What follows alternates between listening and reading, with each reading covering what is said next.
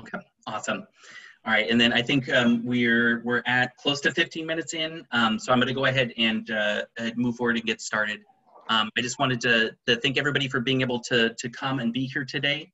Uh, thank you, Carmen, for for posting that in. So we have a list of the different speakers that Carmen just added into um, the uh, chat box there. Um, again, as, as many of you know, this is going to be one of our uh, first announcements uh, from the state of Oregon about the um, full re restored COFA um, uh, benefits uh, for Medicaid. Uh, uh, and so we're working in conjunction with CAN and OMCA for this particular presentation. Hey, I'm on this meeting now. I'm going to go give the phone to Dad if you want to talk to him. Oh, Teresa, would you mind muting yourself? So anybody, if you're not currently speaking, if you're able to mute yourself, that will be perfect. Awesome. Thank you. Um, so um, I'm going to go ahead and move on to the next uh, uh, uh, spot here. Um, again, we we thank you for being here. Um, we're going to get through, try and get through a lot of information in a short amount of time. Um, we're going to have various speakers, so they're going to go ahead and announce themselves as we're going through. Um, and I'll try and act as an MC and help guide us uh, through and make sure that we're staying as close on time as we can. and I've got a lot of other teammates here to help with that process as well. Um, I want to acknowledge um, that you know this event here is for community and for folks to listen and learn and see what steps they need to take or or learn about um, what benefits they may have access to in regards to um, to Medicaid. So hopefully we'll help to answer some of those questions today and then um, work on building what our next outreach plan is going to look like for the community um, going forward and uh, learn from from you guys as well and get input. so I'm going to go ahead and transition Antonio um, to do our um, uh, go over who's um, all here. Can you please can you please mute your phones? Um, um, I'm hearing background noise. So thank you and, and welcome. I, I, would say um, buenas tardes, uh, good afternoon. Um, we're, we're, we are happy to do this presentation. Um, it, it's, it wouldn't be possible, but there's a couple partners that that are here with us um, that that are doing this presentation. So I want to go ahead and acknowledge them and apologize ahead of time if I butcher these names. So I'm apologizing ahead of time. So from CAN, uh, we got Tina um, M, Kara Miller, and Joe Enlet. Um, Oregon Marshallese Community Association, we got Jess Gasper, Lowell Alik, and Anton Antonio E. Uh, from Oregon Health Authority, Sean Snyder, Monica Juarez, Oregon Department of Human Services, myself, Antonio, oh, me. Um, the marketplace is Nina Rempel. Um, just to let you all know, we do have some ODH, uh, Oregon Department of Human Services and Oregon Health Authority leadership here. They're here to listen to your voice and what you have to say. Um, they're, they're, um, they will have very little um, uh, place in, in the presentation, but they're here to listen. So thank you and welcome all um, to um, this meeting presentation. Awesome. Thank you so much, Antonio. And I'm going to pass things on to uh, Monica um, Juarez for my team um, that's going to talk about the agenda and what our hopes are to um, to go over today. Thank you, Sean. I first, um, you know, hello, and and I wanted to just walk you to the agenda what we're gonna talk about today. So we're gonna talk about the COFA community diversity and history and experience for some of you. Looks like there's some background noise. But um, just to learn more, a little more of the COFA community um, in restoring OHP Medicaid benefits for COFA citizens, which is what we're gonna talk about today and and and then why now? And and when will be uh, available? And what's the application process? And then we're also gonna have uh, Nina talk about the COFA Premium Assistance Program and how that gonna roll out as well. And then go to your questions and answers. And and also we're gonna have an opportunity to um, to you know, let us know about the outreach and then any discussions. If you have any questions, like Antonio mentioned, please put them on the chat box and we'll do our best to answer those questions. Awesome. Thank you so much, uh, Monica. Um, again, you know, we just want to thank everybody for being here today. Um, and I want to um, recognize uh, that you know we do have a, a, a varying group. Uh, we have community members, we have representatives of the COFA community, um, we have organizations, we have uh, OHA and ODHS leadership. So part of the presentation that we're going to have today is we wanted to talk about um, the COFA Compact and the nations that are within COFA. Um, it is, you know, a so much culture, um, languages that are within the community. We've got the Federated State of Micronesia, Republic of uh, the Marshall Islands, and the Republic of Palau. So it encompasses a lot of community and encompasses um, just a breadth of history and experience. So we do did want to have a spot and a place for a, a few organizations to be able to talk about the history and talk about their organizations and talk about hopefully what we're uh, going to be doing moving forward. Um, so I am going to pass things off to um, Tiana, who's going to do an introduction from CAN uh, and do a presentation and talk about uh, COFA's history and a little bit about CAN's organization as well. Thank you, Sean. Hi, everyone. My name is Tiana Mushashik Nanpe. I am speaking on behalf of CAN today. I am a board member for CAN and also the president for the Eastern Oregon CAN chapter. Um, first of all, I'd like to thank OHA, the Oregon Health Authority, for partnering with us on this and allowing us to speak today. Um, a shout out to the Oregon Department of Human Services, um, our Consul General, Joe Enlet, I believe he is here, the FSM Consul General, um, former RMI Minister Antonio Eliu, who will be speaking later, um, Jess Gasper, Executive Director for OMCS. And then we also have Kara Miller, the Executive Director for CAN, and our other board members. Um, thank you everyone for being here. I don't want to take up too much time, but I do think it's important to preface today's discussion with some of the history and background of the COFA nations, particularly our presence in the US. Um, I know that we have some participants who are not familiar with the history of COFA, so I just want to do a brief overview of it. So diving right in, the US entered compacts with the Federated States of Micronesia, the Republic of the Marshall Islands, and Republic of Palau in 1986 and 1994, with the current compact expiring in 2023. And although the current compact expires in 2023, the US military has secured continued presence on and use of these islands until 2066.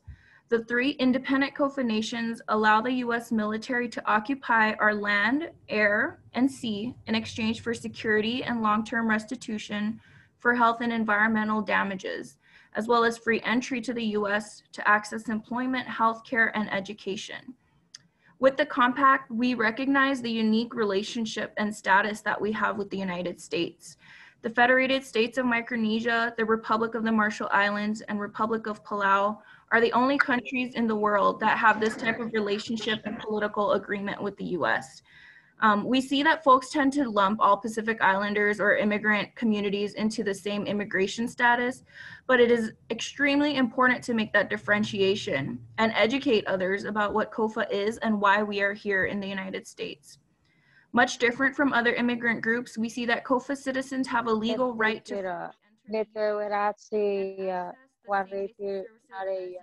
US pero kan the US citizen or the United States is called recover. The uh, there is a long and complicated nuclear history and legacy in the RMI. Uh, beginning shortly after World War II, there were over 70 different nuclear operations that were tested throughout the RMI. Operation Bravo was larger and more devastating than any other nuclear testing in the US history. And it was equivalent to the bombing of Hiroshima happening every day for 40 days. And that in turn forced displacement on many families and caused extensive environmental damage and health problems for the people of RMI. Um, the beginning of March, we will also be honoring a nuclear legacy for the people of the Republic of the Marshall Islands. So keep an eye out for information on that and events that will be happening in your area. Um, the next point is the compact is a legally binding agreement. It allows for COFA citizens to freely live and work in the US, including access to education and healthcare. However, we know that these promises the US made were not always honored and there have been many hurdles that the COFA communities across the country face every day. Another key thing to note would be that COFA citizens serve in the US military at the highest rates per capita. Even though COFA citizens freely give up their lives serving in the US military at higher rates than US citizens, even our veterans haven't been able to access Medicaid for all these years. And you're probably wondering at this point how that ever could have been possible. Then we see in 1996, due to a federal oversight in an act called the Personal Responsibility and Work Opportunity Act under the Clinton administration, we were then left out on um, provisions such as Medicaid. COFA leaders and advocates across the US, as well as back in the islands, have been lobbying for this to be corrected at the federal level ever since. And they've been working over the last 25 years through 19 different bills that were introduced at the federal level trying to reinstate Medicaid. Um, and it was only at the end of last year that we were finally able to do that. Uh, we see that the COFA Alliance National Network, also known as CAN, led that lobbying effort in the state of Oregon to correct this issue at the state level. And we see that the population of COFA Islanders in the state of Oregon has increased by over 300% in the last decade. Our COFA communities live all over the state of Oregon with long-standing presence in places like Salem and La Grande over in Eastern Oregon. Um, in the Salem Keizer School District alone, Marshallese is the third most commonly spoken language. Um, yes, thank you for that note, Sean. I'll slow down. No worries, you're doing great. I'll give them a couple seconds to catch up. In 2015, CAN worked with Oregon legislators to pass House Bill 2522 with complete bipartisan support and this bill created the COFA Premium Assistance Program to ensure COFA Islanders had the same access to healthcare as US citizens residing in the state of Oregon. And it was really because of COFA citizens' inability to access healthcare in the state of Oregon that inspired the formation of CAN. And for the last seven years, CAN has worked hard to exemplify what we like to call the CAN way, which values relationships and inclusion above all else, building relationships with our state legislators and leaders, educating them about COFA through singing and storytelling and compelling testimonies. Over the last few years, CAN has worked closely with Senator Wyden and other state and national leaders over the years who were pivotal in the long overdue reinstatement of Medicaid. And it is only through these longstanding efforts and relationships that CAN has been able to pass six laws in the state of Oregon, each with complete bipartisan support, correcting these kind of inequ inequities, excuse me, for COFA citizens in Oregon. CAN is the only COFA organization in the state of Oregon who has successfully introduced and passed bills that improve the quality of life and overall equity for COFA citizens that is all I have, and I hope that helps with um, some of the background and history of COFA nations.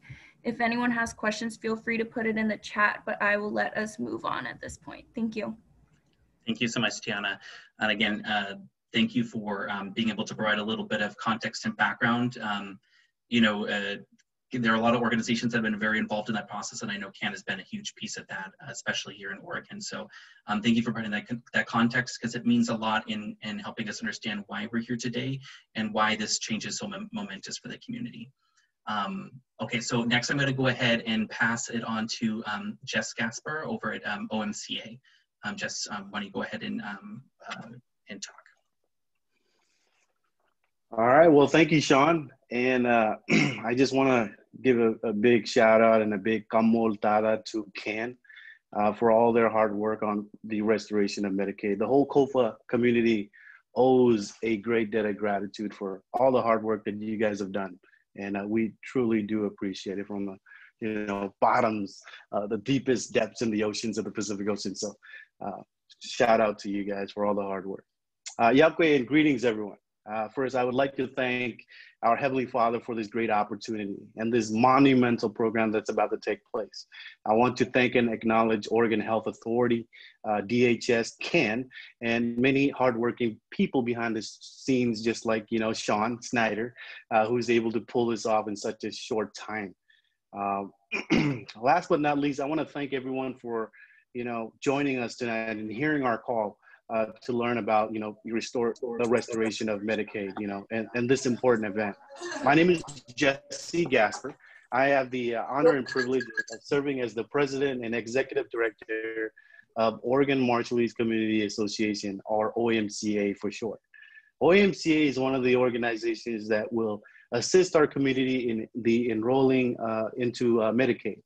Uh, today, I am joined by um, our COVID-19 program manager, Lowell Alik, and former RMI minister, Senator Antonio Elio. He's also with us today, and he'll be speaking after myself. The Oregon Marshallese Community Association, OMCA, is a non-profit 501c3 registered public charity and community advocacy organization for the citizens uh, from the Republic of the Marshall Islands and their descendants residing here in the state of Oregon. Our mission is to assist our community in terms of education, health, and social services, and to promote our cultural values, traditions, and the history of the Marshall Islands. You know, one of those history, um, the, um, uh, I'm sorry, uh, the girl was talking about, you know, the, the, the, bombings on, on Bikini Atoll and, and the Bravo shot. I am a uh, direct descendant of those that were deeply affected by the nuclear uh, fallout in the Marshall Islands. So the history is, is something that we advocate and we try to educate our communities, you know, here in the state about. So thank you also for bringing that up. But We really do appreciate that. Currently, um, the Pacific Island, in the Pacific Islander community, of whom the Marshallese are the largest group in the Willamette Valley, we have a high rate of COVID-19 infection. Long-term health issues such as diabetes, um, thyroid cancer are very common in the Marshallese community. So, you know, this, this bill, you know, this Medicaid, you know, restoration is definitely going to be a big impact on, on our community. And currently the Marshallese people have been focusing on, you know, trying to weather the COVID-19 crisis, paying bills, keeping the heat, you know, heat on and, and the lights on and caring for the sick and the elderly. Having eligibility for Medicaid, again, is a huge win for our community, financially, physically, even mentally. You know, some of these people are going to bed, um, you know, stressing about, you know, bills of their, you know, uh, health insurance and things like that. So this is going to be a huge, you know, uh, weight that's, you know, taken off their shoulders. And the goals of the OMCA, goals of OMCA are to support the Marshallese community in Oregon and to protect the Marshallese culture and heritage. And what does that look like? It means figuring out what the community's needs are and also building on our strengths. It means asking questions like this. What skills are needed in our community? How can we support individuals in finding and getting, getting the training that they need? Or like this, which credentials are of high value? Which ones are stackable? And in terms of health, having forums and community discussions like we have right now and bringing the leaders in health um, and leaders in our community so that we can have open dialogue to address our community's health concerns. And today, I mean, we are all witnessing, you know, something that's about to take place. So thank you all for, for joining us and thank you OHA and DHS for putting this all together. I want to pass it along to uh, uh, Senator uh, Antonio Elio. He'll take it from there. Perfect. Thank you. And, and I just want to mention before we pass on, uh, just um, to, if we can remember to talk a little bit uh, slower for the interpreters. Um, again, you know, if, if we um, are, uh, the interpreters are unable to um, catch everything today, I do apologize for folks. Um, and what we're going to hopefully be able to do is um, have this presentation available um, translated as well um, later on for the community. All right, sorry for the interruption, Jess. Thank you, Sean.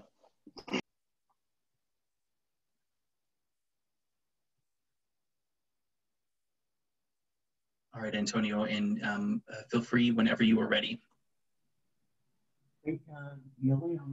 Uh, to my uh, mostly Israel. So um, I'm sure uh, we have interpreter there that will be able to translate what I to um, talk about this afternoon. So, Yahweh on it. Patay na tuloy yung video. Ang mga yan, hindi kulog niya na kita doon. Ano lang President pa, ijon yan, teori man OMCA.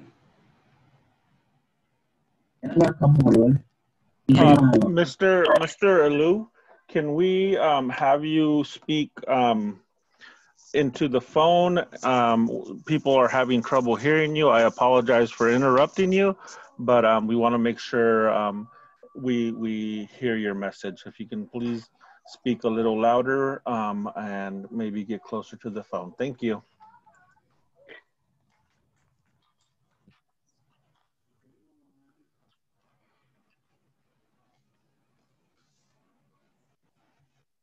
Let me start again. We were chino yin chino. Na yoga hawlep.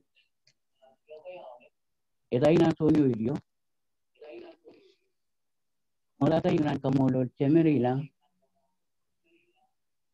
lang. Kan iyan kukudo ina ro ipen ron.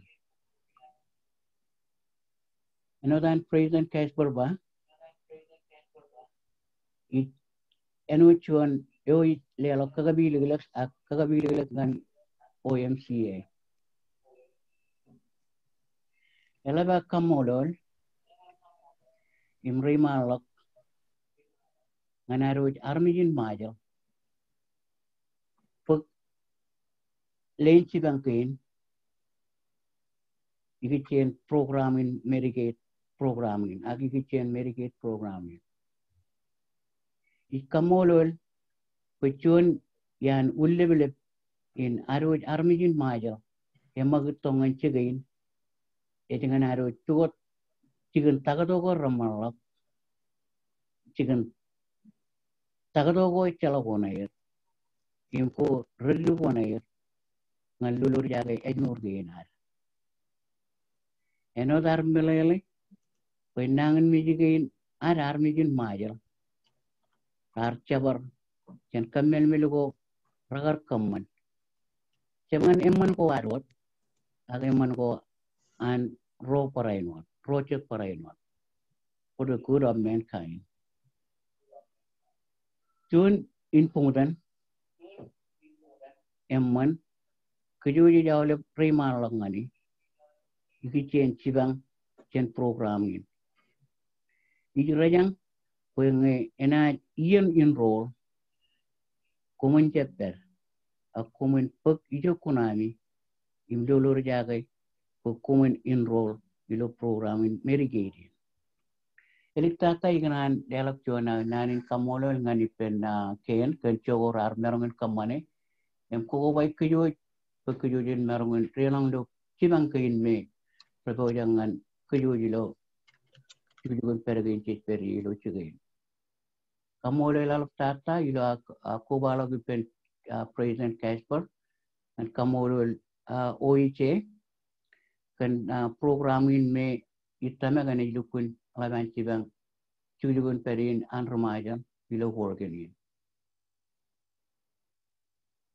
Jadi wajah kia, menaro charbali pendron. Ini inwat kung kano yun ang mon.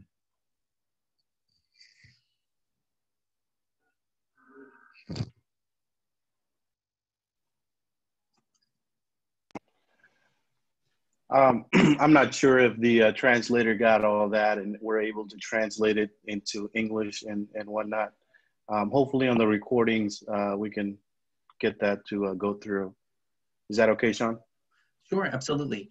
Um, and I appreciate um, you, Jess, you being here and, and Antonio, for you be able to, um, to um, provide a message to the community and provide a message to the Marshallese community is extremely important. I know our audio doesn't always work the way that we want it to, so I appreciate you being flexible. Um, and I, I, thank you again for being here. Um, it's really an honor to have uh, representatives from the community um, like yourself uh, and such wonderful organizations like um, uh, CAN and OMCA here to, to help represent. I know it's there are other organizations out there, and we'll, we'll name a few as well later on. But um, again, we really, really thank you, and hopefully we'll be able to uh, um, work on the translation pieces uh, in the future. Um, so thank you, Jess. Thanks so much. Let's see. I just want to see Jess. Okay, perfect.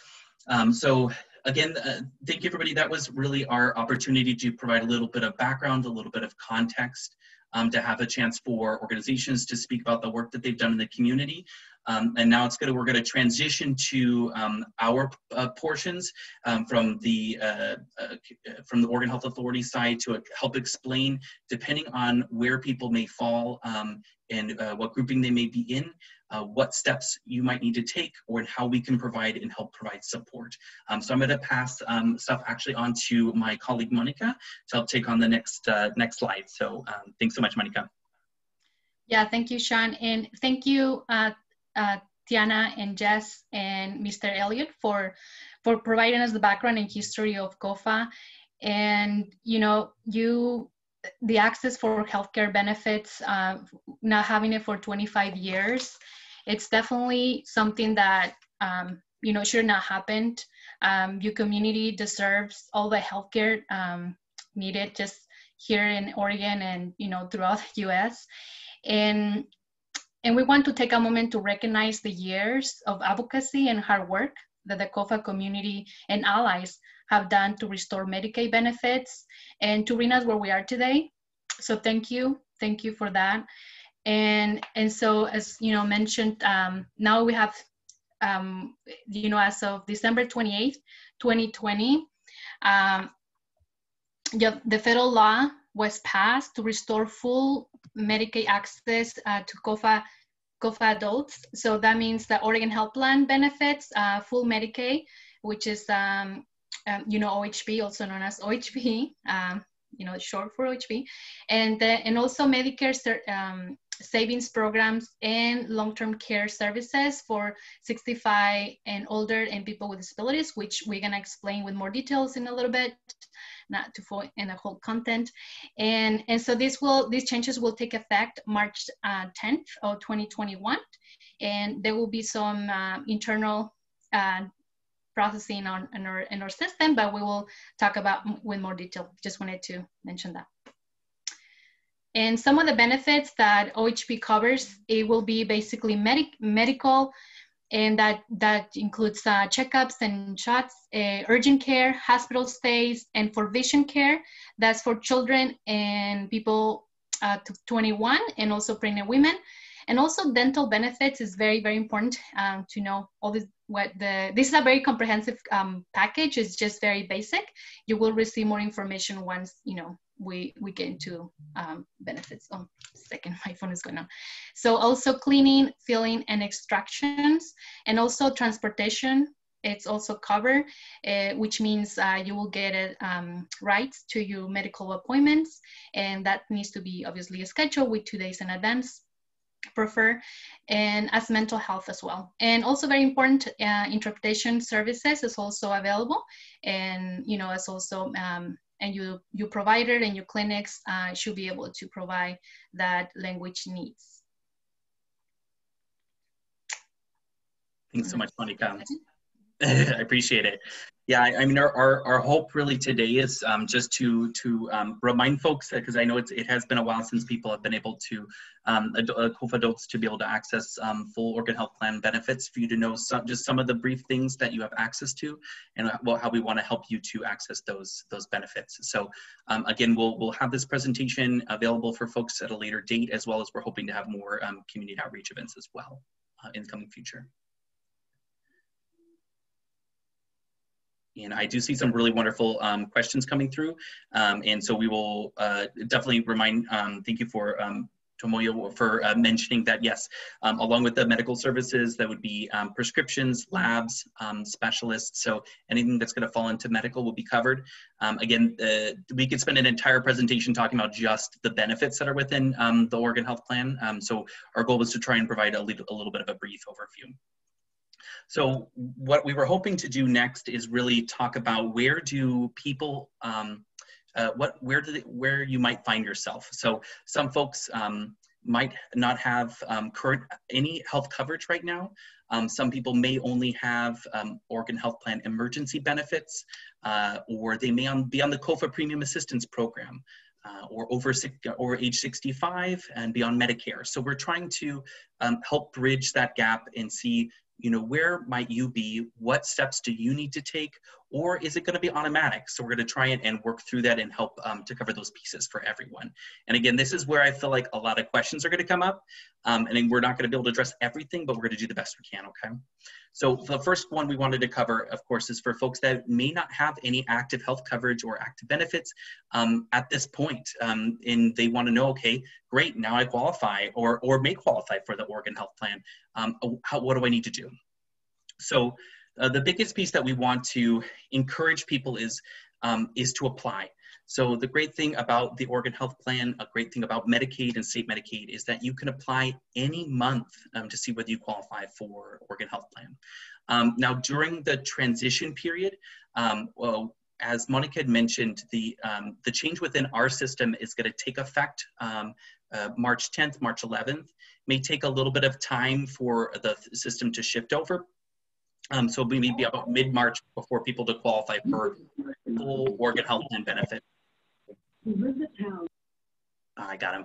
All right, and um, so what we really want to do is we want to say, if you don't have health coverage, connect with someone locally.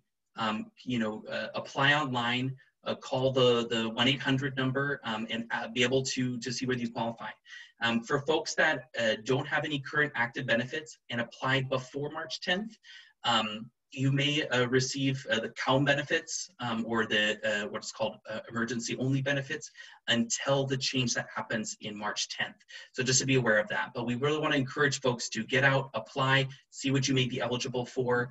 Um, and uh, there are local organizations like CAN, OMCA, MIC, and NEON that are out in the community that can provide um, uh, assistance in, in, your, in your language um, and can provide the assistance and help that you need.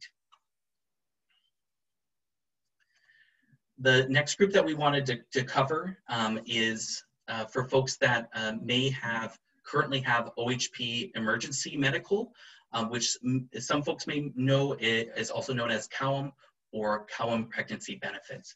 So when uh, many of the folks in the uh, COFA community applied, say, for um, other programs in the community like uh, the COFA Premium Assistance Program. Many of you applied to the Oregon Health Plan and may have that uh, this uh, this benefit already, the OHP medical emergency um, piece. So what's really important about that is that uh, close to, you know, a little over 700 folks, um, roughly, we're still working on getting the numbers uh, nailed down, currently have active OHP emergency medical benefits within the system. So what can be helpful with that is that when we go to um, provide an update in our system um, on March 10th, around mid-March, um, anybody that has that current active benefit will change automatically. So for folks that fall into this category, you won't need to do anything. Um, the system is going to be automatic. Um, we'll of course keep people up to date on if there's any changes to that, um, but that is uh, from the assessments that we've been doing and um, looking at the processes, is that's going to be a pretty quick shift uh, um, for, for folks. Um, you will start receiving um, letters in the mail uh, indicating that you have changed to full OHP benefits, full Oregon Health Plan benefits. Um, and with our outreach uh, with the community, we're going to continue to reach out um, to folks and help them understand how to use their benefits um, for them to know what they have access to. Um, but for this particular group, um, you won't have to uh, um, have any particular changes. And, and again, we're here to help. we know that there's going to be a lot that we're going over today. There's going to be things that we may not be able to even cover. Um, but uh, we're just hopefully trying to help provide and, and catch um, where folks may, may fall into different categories. Um, the next group that we wanted to talk about is there, there may be uh, quite a few members in the community that have the COFA Premium Assistance Program um, as well as a private health plan. And there is going to be a little bit of transition for you guys as well. And so I was going to pass this off to uh, Nina Rempel, who um, uh, runs that program, um, to help provide a little bit of context on uh, what you uh, in the community may need to do around um, the COFA Premium Assistance Program.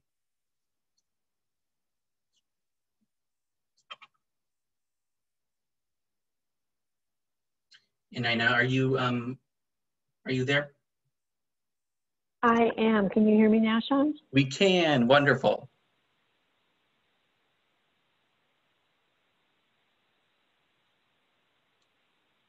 Oh, we might have lost you again, Nina. Is this better?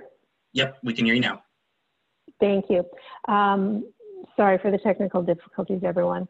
No Um, so what are the next steps for someone that has a, a private health plan? Um, and you may or may not have the COFA Premium Assistance Program because I do know that uh, there are many COFA citizens that uh, maybe couldn't um, fulfill all of the requirements for the COFA Premium Assistance Program with their immigration documents, but found uh, affordable health care um, through their agent um, using healthcare.gov and still getting their premium tax credits. Um, if you, again, do not have active emergency only uh, medical uh, CAWEM benefits, you will want to apply for um, the OHP Oregon Health Plan um, now or as soon as possible. Uh, that way, uh, we will be able to get you that Medicaid um, benefit if you qualify um, income wise um, or meeting other criteria. If you have had uh, enrollment in a private health plan and you get your full OHP benefits, you will need to cancel your health plan with healthcare.gov. Um, and uh, if you have been enrolled in the COFA Premium Assistance Program, uh, once we are notified that you have full coverage, we will stop paying for your premium for your private health plan. As you'll see here on this slide, um, you cannot have full OHP um, benefits and premium ta tax credits at the same time. So it is important that we make sure that um, your plan gets canceled. When you receive a letter from the Oregon Health Plan confirming your full benefits, uh, please cancel your, your private health plan. And the phone number is on the screen. Um, if you're enrolled in the COFA Premium Assistance Program, again, we will stop paying your premiums once we are notified. So you will not have um, both inadvertently. Uh, you won't have um, us the COFA program paying that premium. If you don't cancel your plan with healthcare.gov, then you'll be responsible for the full premium um, to keep your private plan. Um, and then again, just remember to file your taxes to reconcile, um, which is reporting your tax credits um, that you receive from healthcare.gov. Wonderful. Thank you so much, Nina. Um, Thank you, Sean. Yeah, and as you guys can tell, um, uh, you know, some of these changes came up, uh, you know, the policy change um, that allowed for the reinstatement of Medicaid benefits um, to COFA, the COFA community back in December. Um, it's been taking a while for us uh, as a C2 to look at what does that mean for everybody? Where, where for, are folks gonna fall? What are the changes that are need, gonna need to happen? And that's why I know this may be can be overwhelming. This information can be overwhelming. Um, and that's why this is our first step and our first um, bridge to connect with the community and to make sure that we are getting the information to you that you need. Um, and please, again, we'll, we're gonna have our, our, our, question and answer section. If there's anything um, that uh, we've gone over that we need to go over again, and make sure that folks um, uh, feel comfortable uh, with it, as well as who you can go to to get support.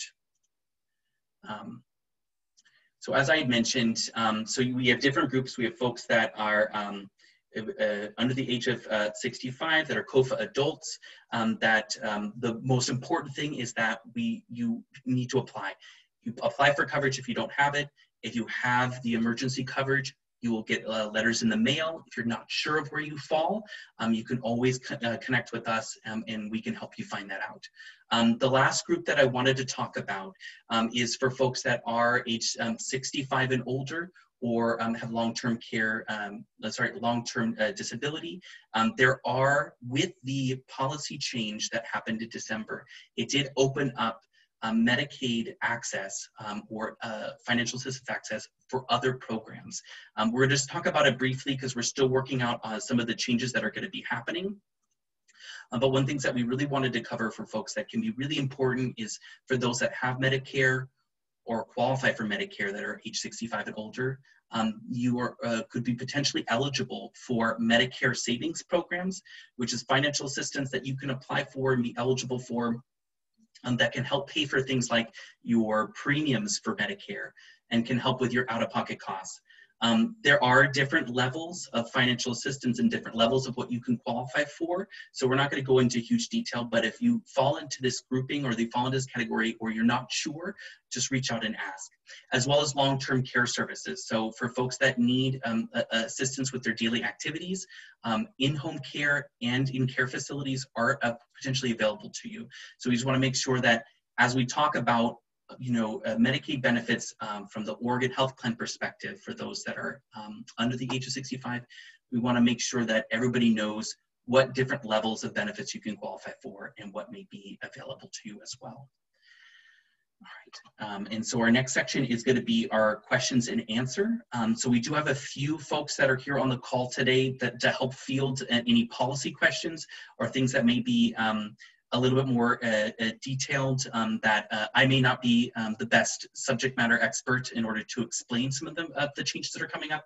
Um, so um, I'm gonna hand uh, things off to uh, my colleague Antonio, um, who's gonna help to um, take some of the questions that are in our chat box and see if we can help get some of those answered today. And if not today, we'll make sure to get the information out to you at a later date. All right, thanks everybody. Thank you, Sean, for that. Um, again, that, that is a lot of information to digest. Um, we want to say that um, it, it, it is a lot of information. Um, but, um, you know, like Sean said, this isn't the first time, this isn't the only time we will have these conversations. We, we will continue having ongoing conversations. So the first question that, that was put in the, in the chat box uh, was, um, let me, uh, Sean, can you unmute your, um, um, just in case there's a question for her. So here's the first question. How will applying, receiving OHP affect immigration, such as applying for U.S. citizens, for U.S. citizenship? Um, does, who wants to answer that question? So how will applying and receiving OHP affect immigration, such as applying for U.S. citizenship? Hi, this is Yer um, with the Oregon Health Authority policy team uh, with the medical program. I think this is something I would like to take back to confirm, but I my understanding is that for this population, they're not eligible to apply for U.S. citizenship. But that and so I don't think that it's I don't I don't think that it has an impact, but that is something I want to take back and confirm just to make sure that um, I am providing accurate information. And so once I get that, I can pass it, the information to Sean, you, and Antonio, and you can share it with the rest of the group. Would that work? Yes, thank you. So hello, we, Antonio. Yeah, go ahead. Um, sorry, this is Joe Enlet, and I just wanted to uh, just maybe try to answer that question as well. Go ahead.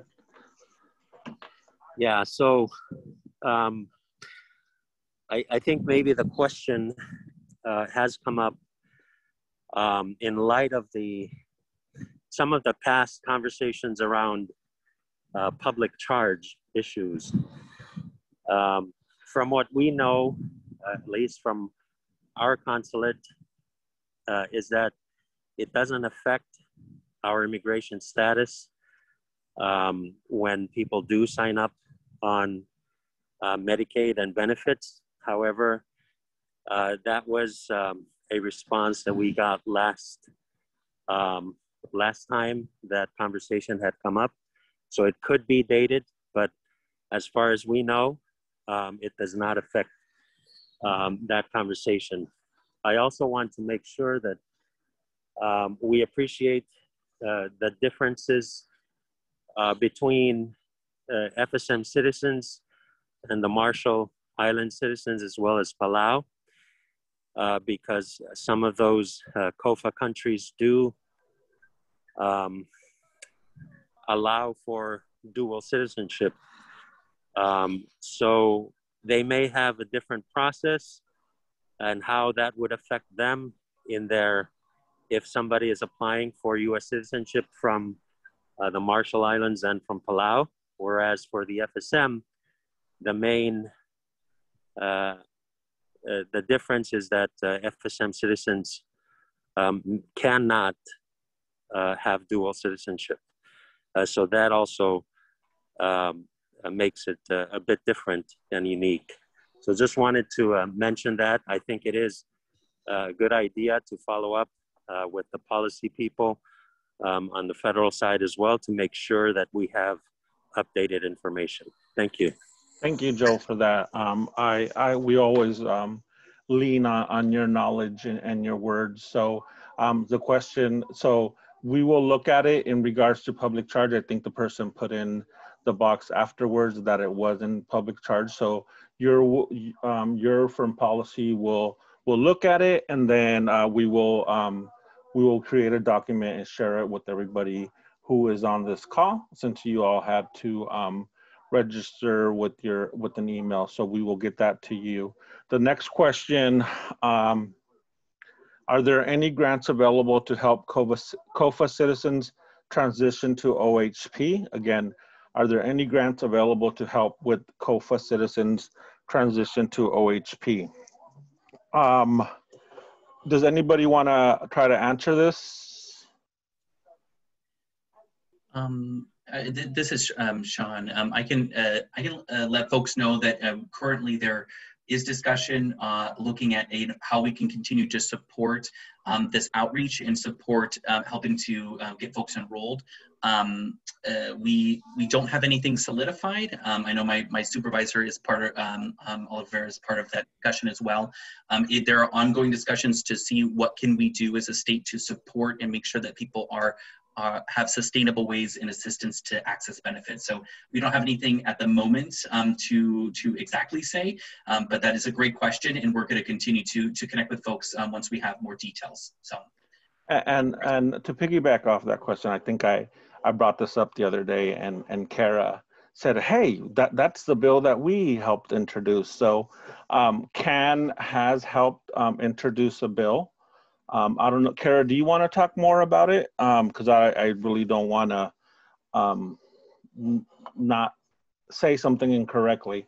Um, there's, yeah, there's no, hold on, she says something in the chat box. So she said um, there are not currently grants for the specific purpose, but CAN has a bill in for the exact reason. Thanks for asking, and please support the bill SB 706 it's in um, the the the chat box again. Bill SB 706 will would will create um, some funds for for this for this process to help to help individuals transition into OHP. Again, uh, Senate Bill 706.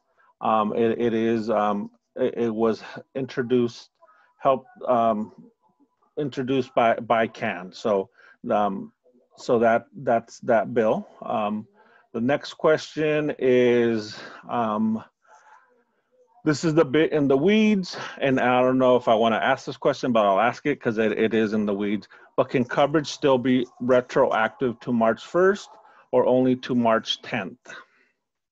And, and actually, um, retro, it, it will go retroactive to December 28th.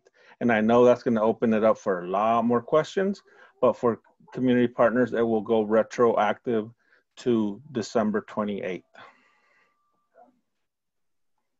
Hi, this is here. I just want to clarify that that March 10th day, 11th day that we have there, we pointed out that date because that's going to be the date when we're going to be able to update our system with this policy change so that way um, all of our COFA citizens can appropriately be given the full OHP benefits and other benefits that they're eligible for. But once we put that change in, we are going to uh, uh, retroactively make their plus coverage go back to December 28th, 2020. Thank you, Yer, for, for that. Um, I hope I answered it. I'm all right, but I knew you would jump in, so thank you. Um, so the next question is um, CAWEM to OHP transition do we need to request for transition? Um, I'm wondering how automatic would it be because OHP wouldn't know how, know which persons are eligible for automatic transition. And I'll let um, Monica or Sean answer this question because I know they addressed it in, in their slides. Um, in, oh, Antonio, I apologize. Would you would you mind um, asking the question again? Yeah. Um, do we need to request for transition? That's from OHP to, uh, um, I mean, that, that would be from CAWEM to full benefits. Um, and I'm wondering how I'm how automatic it would be because OHP wouldn't know which people are eligible for autom- automatic transition. Yeah, that's a great question, and, and I'll leave it as well to um, uh, to to Yer and, and Christy as well. If there's anything you'd like to provide, um, that is a really good question, and and I apologize if I went over that that information um, quickly. Um, but for anybody that um, is currently in um, what are our integrated eligibility systems or a system that helps to identify um, or where you submitted an application that has identified what you may be eligible for. Um, there are quite a few folks that have we have identified on the back end, um, so within our system, that currently already has active um, CAWEM or emergency only coverage. So um, as uh, Yurik mentioned, um, on March 10th, we're gonna have a system change um, that's going to update the and allow the immigration status for folks that are COFA citizens um, for their uh, immigration status to be counted for eligibility um, for full um, Oregon Health Plan benefits. So for anybody that already has that current emergency coverage, it's good, should change automatically. Um, again, there's always sometimes kinks and things that we need to work out, but um, that's uh, how our system is going to be functioning. And then once that change happens, you should receive an eligibility letter that indicates that your coverage has changed. You'll start receiving letters about um, uh, uh, your uh, coordinated care organization, which is who helps to manage your medical coverage. And we'll go over that stuff into detail in, in, in other um, avenues. Um, but uh, did you want to add anything else, or Christy, did you want anything else to that? I want to make sure I didn't um, capture that incorrectly you actually did a very good job explaining. So good job. Um, I mean, that's essentially it. As long as we have the application and it's been documented and recorded in the or the one system, the integrated one system, we actually have the individuals identified with their specific COFA immigration status. And as long as we can see that they have that immigration status, they have that emergency CAWEM coverage, we can automatically make that transition over. But as Sean mentioned, I mean, the system is, you know, there's always kinks in it. And so if, if you're expecting that you should have transitioned over to OHP Plus, you don't see a letter in the mail, then please give us a call so that way we can follow up and make sure that your that eligibility is corrected. And if there's any system issues, we can identify and resolve it. Perfect. Thank you, Karen. Hey, this uh, is Christy Garland. Um, I am on Yer's team. I am also a, a, policy analyst with OHA. I just want to add the notice in the mail. Thank you, Yer, for saying that. Um, especially if the notice is going to be translated to, so after that March 10th date, I would expect that um, notices would be in the mailbox maybe a week or two after. So I would, I just don't expect a notice March 10th right so just give it a little bit of time but absolutely reach out if you think um, or you are working with somebody where you expect that they would receive that notice and they don't please go ahead and contact but i would wait um, a, a, small amount of time to make sure you get it thank you sean thank you Yer thank you christy uh, sean can you mm-hmm. um, stop your screen sharing it's been requested that you stop the screen sharing so um, people can um, we'll see everybody yeah, that's, so so I'm just uh, I'm just telling you the who request. Want, who want that? No, of course not. okay. So the next question uh, falls along the same lines. Do you know what the OHP effective dates will be once the automatic transition takes place for active CAWEM recipients? Will the first of the month logic apply, for example, or for example, transi- transition occurs March 10th or mid-March? So mm-hmm. would the OHP effective date show as March 1st or April 1st? Thank you. And, and I think we answered that. Um, it, it, it will go back to um, retroactive to December 28th, mm-hmm. right? Um, and and along with along, I don't know if um, policy, if you all want to add to that question or Sean uh, to that answer. Mm-hmm. Um, Yeah, thank you, Antonio. I, I might just mention something real quick to go along with that process because I, I did see a question too that came up in regards to um, folks that have, uh, uh, say, premium assistance or are on the COFA premium assistance program and might be worried about the retroactive um, that you're covered, that you'll be covered for any medical services that you need support paying for all the way back to December 28th. Um, so in uh, Nina, please correct me if, I've, if I uh, described this incorrectly, but from my understanding is that once uh, someone receives an eligibility letter in the mail, the, the, um, the which you receive it, the date on the letter, is the start date for what's called the dual coverage issue. So if you have both marketplace and um, OHP, that would only start once you've received your letter. Um, so any coverage that you get retroactive coverage for, any premium assistance or any marketplace coverage you've had back to December, there shouldn't be any um, uh, issue with overlapping coverage. Um, that's why we want to help folks in March and within the next month to to get off of their marketplace coverage uh, and their private coverage once they know um, that they are uh, eligible at full coverage. But that should only um, uh, it really shouldn't be an issue with overlapping um, and with any of the retroactive pieces. And I know, uh, please let me know if you want to add any more to that or, or Yer or Christy. Sorry, I got a little technical. Well, you guys are unmuting yourselves if you're going to reply. Um, I am not, trying. Nina, thank I've you. got Go- I've got many many things going on here. So thank you, Sean, for your explanation. So uh, that's correct. We would need to know once you have been determined. So once you you've gotten your letter to tell you when your uh, when the determination when they decided that you were eligible for full OHP, you would be able to. Uh, that's when the COFA Premium Assistance Program would look to canceling your sponsorship, canceling uh, to stop paying for your premiums on your private plan at the end of the month. So if you get your notice in March that says on March 10th, you're now eligible, your premium will still be paid through the end of March. And then April is where we would stop paying your, your premiums for your private plan. So then you would have your OHP uh, benefits. And if you have not canceled your private plan with healthcare.gov, then it would appear that you would have that premium payment um, your responsibility to the insurance company. So you might end up getting bills for two or three or more months longer telling you that you owe the full premium amount. No, Uh, oh, sorry. Go ahead. I didn't mean. No, go ahead. Go ahead, Antonio. So, so um, another question associated with that. So, so what I'm hearing you say, pretty much, if they get the letter in March, um, their COFA premium sponsorship program will end at the end of March. It can can I? Did I paraphrase you correctly?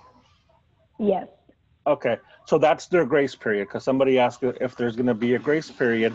So, so from what Nina said, and I think I, I just paraphrased her, um, you will have to cancel your, your insurance by the end of March, your OHP premium assistance program. Well, once, go ahead. once, once they receive their notice, they would actually cover, they would actually want to cancel their health plan with healthcare.gov. Because the premium assistance program, we pay to the insurance company based on the fact that you are receiving tax credits. Once healthcare.gov knows that you uh, qualify for full Medicaid, you're no longer eligible for that tax credit. And that's why the COFA Premium Assistance Program would stop paying your premium. All right, thank you very much, and I think that went well. I muted myself with the next question that was in there uh, for for Mel. Please, Mel, um, respond in the in the chat box if that answered your question, because I believe um, that went along with what um, Nina had, had just said. Um, so so I think um, we're done with we'll, we'll, we're going to finish the questions. Sean, can we get back to the PowerPoint slide and go to the next? Um, Well, oh, go ahead. I'm sorry. I'm sorry. I noticed that there was a question from Mel um, that talked about providers. Yes. Okay, so uh, with the COFA Premium Assistance Program, some of your uh, providers, um, what you want to do is check with your current provider, your doctor, to find out if they take the Oregon Health Plan. Um, and that would tell you whether or not you would need to change doctors. If your doctor takes the Oregon Health Plan, uh, you can continue going to them even with your private plan stopping. But if they, you know, if for some reason um, they don't they don't accept your plan, then you would uh, need to ask your, you know, Oregon Health Plan to help you find a new provider. Thank you, Nina, for, for addressing that. Um, and the letters, uh, we are hoping that they'll be in uh, different languages, not only English. And I think that's what, what what's going to take a little bit longer. So um, can we go to the next slide? I know um, I, am just checking the time and, and we're really um, close um, to time. So I, I just want to go. go. Go ahead. So, um, you know, another purpose of, of this uh, of this um, discussion is to hear from you. Um, you know, um, how how do we? You can go to the next slide, slide, yep. please. How do we reach your community? How how do we let other people know that are not here um, on this call that these changes are coming? You know, I, I, remember back to when um, we first started this um, working with the COFA community. It was, you know, David from CAN gave me a call, called me and said, we need to do something for the COFA community. And we we went ahead and we did an event at a church. We did like two hours, not knowing that we would get over a hundred people at that event. So that you know, at that event we had um, we had that that information. We we gave information about um, Medicaid, people signed up, and then that led to um, to other application events we had. We had an application event in, in, Portland, a few in Portland, and then the other one we had um, out with Beanie's help. We had one in uh, Eastern Oregon uh, at a church, and it was a successful event. So, what what do you all think um, will help us reach the community? Um,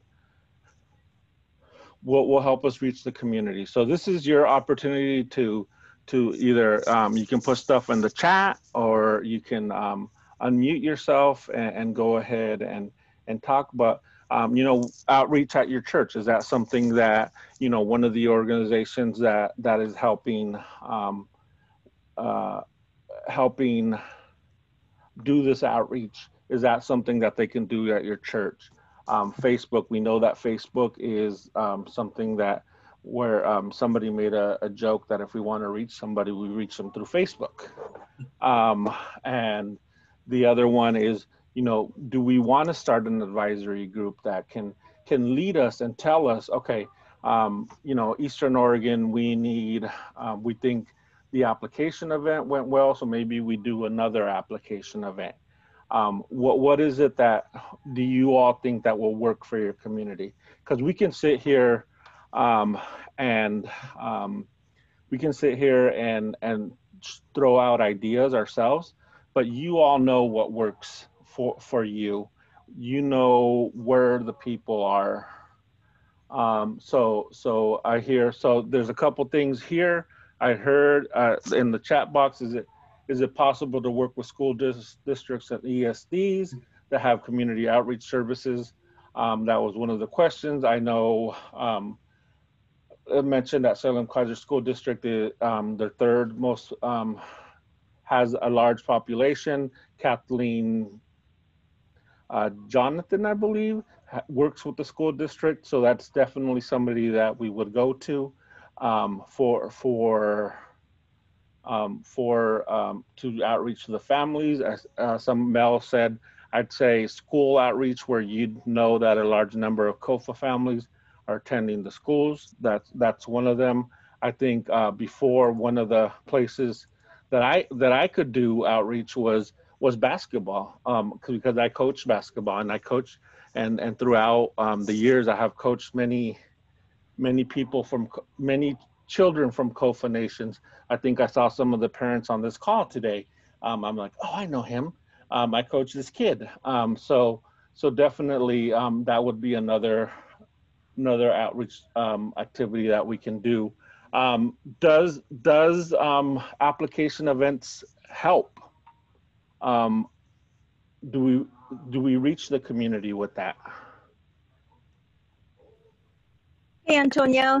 Yeah. This is Marilyn Banta. Um, so um, I live in Salem, and I'll speak on behalf of Palauans in Salem, um, Republic of Palau here. Um, because what you're talking about as far as the application event, I wasn't aware of. So what I'd like to do is maybe um, contact you uh, in any way, shape, or form so I can um, participate uh, in those events and perhaps spread the word to Palauans in Salem? Definitely. Um, oh. Yeah, because not everybody goes to church, and not everybody goes to if sporting events and considering the COVID situation. Yeah, um, yeah. And we tend to kind of be isolating isolating ourselves. We don't kind of go out there. So um, yeah, no, definitely. Um, behind the shadows. So I'm I'm trying to get get them out a little bit, and just at least let them know that these are the resources available if you're interested. Um, that's really my main goal is just for the word out to them, and that the information is there where they can go to, how to get to A to B, and uh, just give them that at least that uh, uh, stepping stone so they can carry on if they have any desire or interest or need for it if anything else. So um, just oh, want to put that out there. You, you know where I work. Thank um, you. I, I, I, with... I, do know where you work and I, I do know what a, what employee resource groups you're a part of. So I will hunt you down um, when we have this information to share with the community, um, especially for for the Palauan, com Palauan community here in Salem, um, because you know we, we see um, a lot of Palauan community out, out, in Eastern Oregon. That's why we were out there. Um, but but mm -hmm. I'm mm-hmm. glad to know that there is a, population here locally and that you are a resource for us to get that information out. So thank you. Good, thanks too. Uh, something else that was shared in addition to social media, we have had sex success with texting outreach. Um, that that is something also. Thank you. Um, uh, it says I work in West Linn, Wilsonville that has a small but consistent population of COFA Nation families. I can check in with my district administration about this. Thank you. Uh, utilize and partner with trusted leaders in various communities to share the information. Yes, thank you. I, I think this this has been, um, you know, that part is is a necessity. Um, I know we work with Beanie on in Eastern Oregon. I remember the first outreach event she was literally running and picking people up and bringing them to the church so they could sign up for Oregon Health Plan. So, um, you know, and, and now Marilyn's going to be a resource for me in this community. Kathleen, um, you know, Joe, David. Um, so I know you all, and I know how to get a hold of you. So you will be hearing from from our team uh, when we're having some of these events in the community, and also um, hey, I, I didn't say hunt you down, but sorry. Yes, thank you for that. I I I, I apologize. Um, thank you. I, um, um, so so yeah. So um, thank you for those. So school outreach, trust a partner with community uh, organizations. Um, people will check with the school districts um, thank you. School outreach. Um, anything, uh, um, anything about um, application events? Anybody want to share? Do those work? Don't work? What do you all think? Antonio, um, am I muted? No, you're not muted. Okay. okay. I have two of my uh, community leaders here. Um, I have a pastor uh, Minister Ano Alik and uh, Ayman Tieko. Um, these are really good connections that we have to our communities because they have a large congregation. I know um, Pastor um, Diego goes to the largest Marshallese church here. So, I mean, we, we've built our network through our churches because in our culture, the church, the people that go to these churches, which is majority, 90% of the Marshallese population, they will never come to government events like this, the church-based organizations or faith-based. But I'm so glad that they were able to make it. Um, and um, uh, Pastor Tieco is also one of our board members. So I would, is it okay if I give them like a minute each to talk about how we can reach them? Yeah, go ahead. Yeah, thank you. Hey, Pastor Ano and Pastor Diego, do you guys have a, you guys have a few things to say?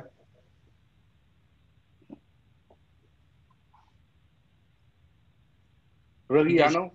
Okay. Yeah, they should be able to unmute themselves as well. Really, Ano, Kubergillo?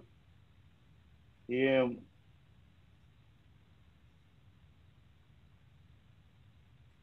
Okay. Really, Aimon, Kubergillo?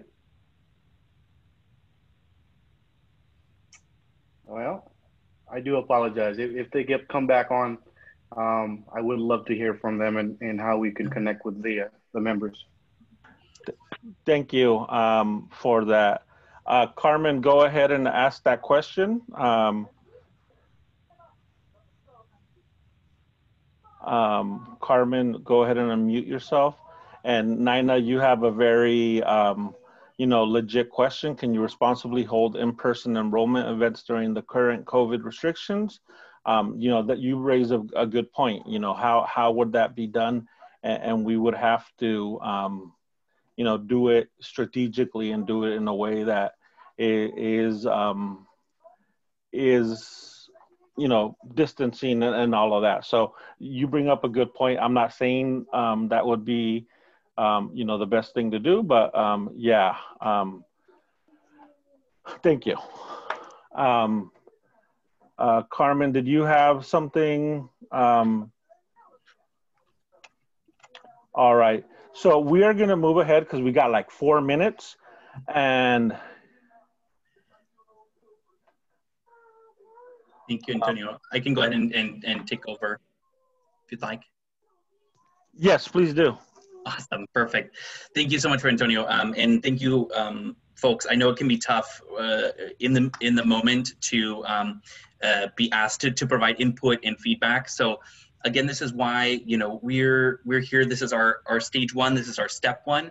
Uh, we want to be um, connected with the community. We want to be upfront and open um, with the changes that are coming, and how can we work together with you? How can we reach um, the the the community that hasn't had health coverage in a while potentially uh, you know especially with covid especially with the pandemic um, we really want to help improve that that access, that equitable access to health coverage, that equitable access to um, improvement of um, uh, outcomes in, in, in, people's lives. So, you know, this is really just our stage one. I appreciate folks sticking through um, with, I know we had some of our, some uh, technical issues and just um, if you have uh, those community leaders that you're able to get input from them at a later time and bring it to us, please do. Um, I think you know we're going to continue to talk about uh, in some form of advisory group where we can continue to meet with community leaders and see how's the process going. Um, so you know we wanted to kind of summarize and talk what is our next step for community outreach? So we're going to gather all the input from the uh, event today. Um, we're going to work together with um, uh, organizations and, and leaders that, that speak for the community um, and help to plan outreach and set goals. What can we do safely during COVID? Um, what type of, what does that outreach look like? Um, I know that a lot of COFA members um, need or, or prefer to get assistance in person. So how can we safely make that happen? What does that look like? Um, and we're going to try and work uh, and communicate effectively. We're going to continue to check in with the community. And so this is just event one. Um, we had to work really quickly to get this put together because um, we wanted to make sure that we started connecting with the community now and telling you and informing you about the changes that were coming up. Um, I know a lot of states are going to be doing similar stuff, and so this was our our hope uh, in, as Oregon and as the state to to connect and to um, help uh, start that conversation because it's going to be an ongoing one, and people are going to continue to need support in the community. Um, so uh, if you do have any additional thoughts, questions, how did the event go today? Um, you know, please, please feel free to to email myself, Antonio, Monica. Um, we are uh, we we love input. We want to make sure that we're doing this stuff in an effective way and that we're connecting with people. Um, so um, I just want to uh, thank everybody for being here. Um, the last reminder I have for the community um, is just to to remember you have allies out there, you have advocates, folks that you've been going to uh, for a long time. We want to make sure you have connect, uh, connect resources, their phone numbers. Um, we're going to be sending this presentation out. Um, we're going to work on uh, collecting the responses and hopefully we'll have it out uh, next week. Um, uh, but again, reach out to us. Don't hesitate to call. Don't hesitate to find out what you qualify for and find out um, what support you might need. Okay. Um, and that. Uh, oh, sorry. Yeah for it, Antonio. So we, we have uh, a community member with their hands up. Oh, um, yeah. Can Yeah. we can we have her um, maybe kind of maybe close it out? Um, but but um, Beanie, go ahead. I, I see that you have your hand up. Can you please um, unmute yourself and uh, let us know what you got to say? Hi, you had to call me out, huh? I love it. You raised your hand. I didn't call you out. You raised your hand. Oh, I know. Okay, okay. Um, Yeah, no, I'm just kidding. Um, hey, one, thank you so much for this opportunity. Thank you for bringing all of us together. And I'm so grateful for the partnership and the, that really has evolved into friendships and, and, and collaborations. And so thank you so much. Um, I do have two comments. One is um, for some of the questions that may have been asked um, later on, could we um, follow up on those questions? Um, and, and would we be able to get some responses from them?